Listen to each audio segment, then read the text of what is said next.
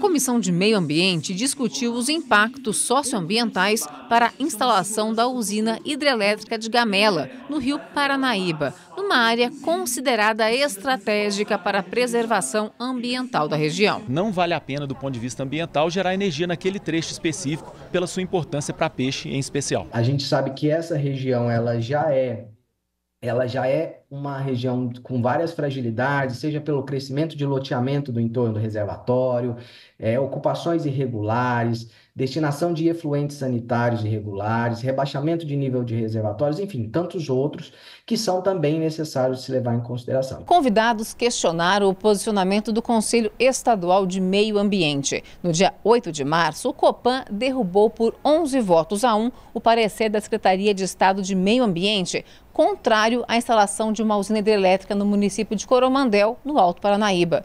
Os estudos técnicos da SEMAD apontam impactos ambientais maiores que os benefícios da geração energética. Apesar da forte pressão popular contrária ao empreendimento, a decisão do Conselho permitiu que a empresa Minas PCH prossiga com o processo de licenciamento ambiental para a liberação da licença prévia do projeto. O processo voltou para a Secretaria de Meio Ambiente para análise e elaboração de condicionantes ambientais fases anteriores à emissão das licenças de instalação e de operação da hidrelétrica. Com essa imagem não houve mudança em momento algum de, de posicionamento em relação ao empreendimento.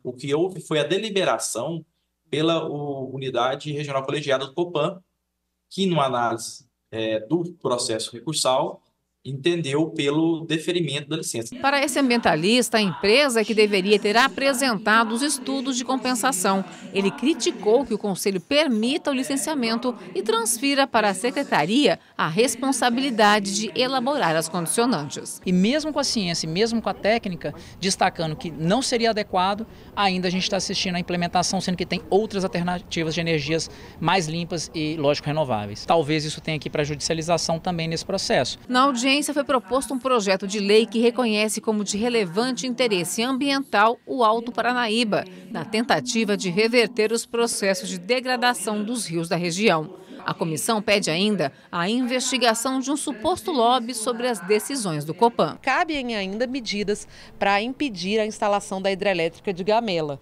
Eu entendo que hoje está nas mãos, em especial, da Justiça, a elaboração de alternativas para que a gente consiga rever essa decisão do Copan, que parece ter sido baseada no lobby, no interesse econômico e não no interesse ambiental.